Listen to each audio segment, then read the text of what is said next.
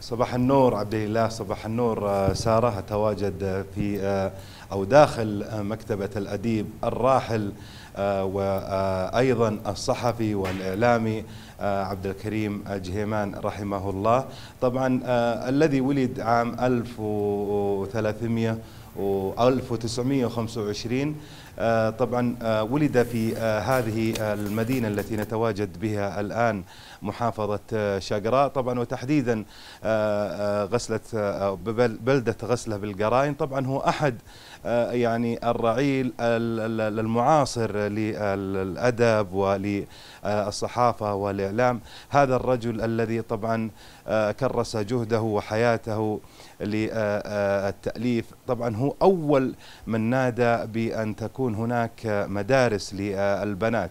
عبد الكريم جهمان نتواجد داخل مكتبته طبعا التي تتواجد في القرية القديمة في محافظة شقراء. طبعا نتحدث عن رجل طبعا له باع طويل كما ذكرت.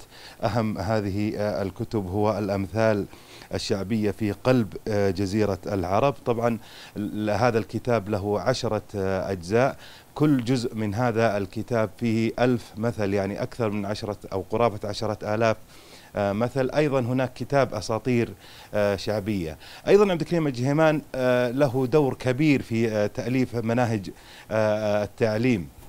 طبعا وهو قد حاز على شهادة قبل تأسيس المملكة بعام واحد. طبعا أمين المكتبة الله يعطيكم العافية العم إبراهيم اليوسف.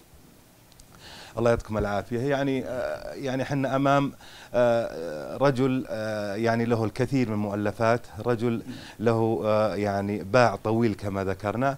أنت أحد المتابعين لهذا الرجل وأنت من توليت هذا المكتبة كأمين تطوعا طبعا. كلمنا عن شخصية هذا الرجل.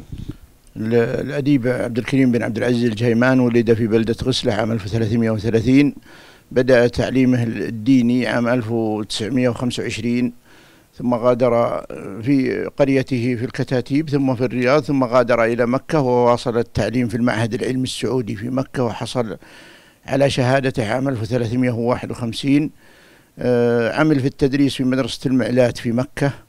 ثم بدأ في الكتابة في آه، الكتابة في الصحف وتأليف المقررات المدرسية في الفقه والتوحيد والتهذيب ومشاركة مع بعض المؤلفين كعمر عبد الجبار. ألف أول كتاب له عام 1358 أدار أول مدرسة نظامية في الخرج. euh,